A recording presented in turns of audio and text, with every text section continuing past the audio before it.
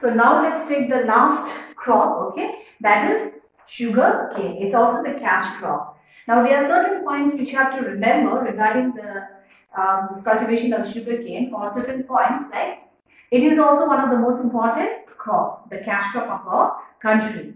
Then it belongs to the bamboo uh, family of the plant. Okay, that's point number two.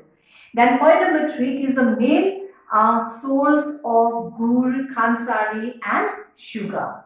Then last one, it's a tropical crop and it grows in the Kharif season.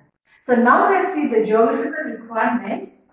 Temperature is 20 degrees Celsius to 30 degree Celsius. And as you know, frost is dangerous for the growth of this crop also, sugar cane. Second one is rainfall.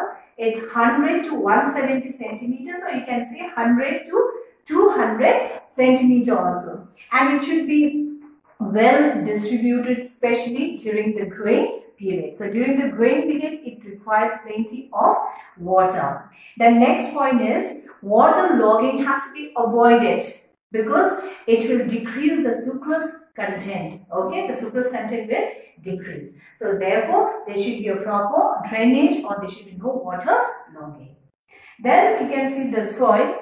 It grows in alluvial soil as well as the black soil. So both the type of soil, this alluvial soil and uh, black soil are well suited for the cultivation of sugarcane.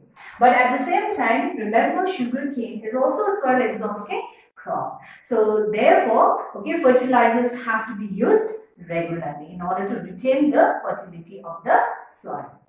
Then the next one you can see the states Okay, the areas where it's grown.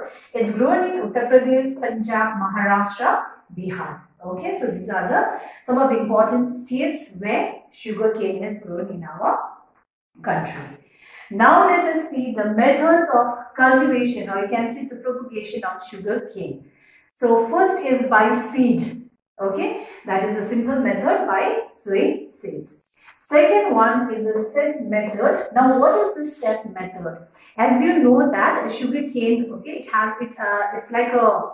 It belongs to the bamboo, a family with several joints. So for this set method, okay, the sugar cane is cut into several joints and the set is prepared and that set is taken from a healthy plant and a mature plant. Then it is grown.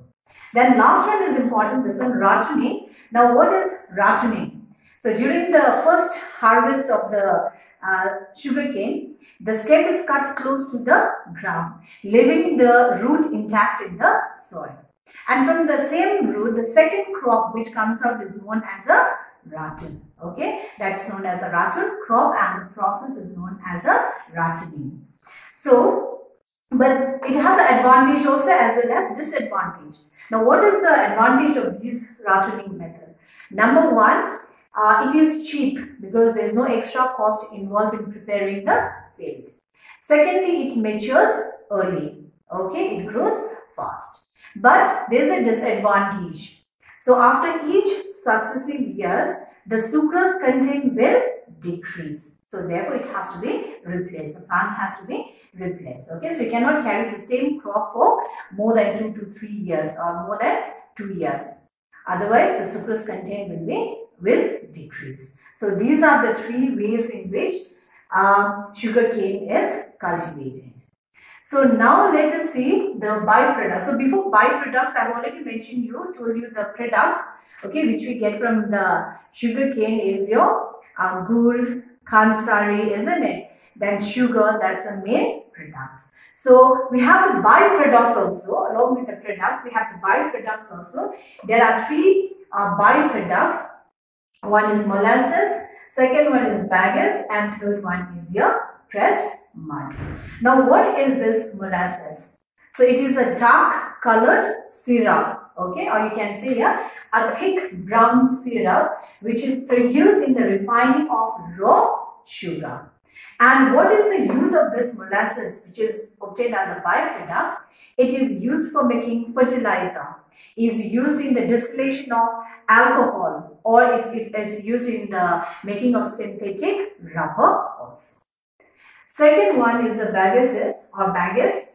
It is the residue from the processing sugarcane after the juice is extracted.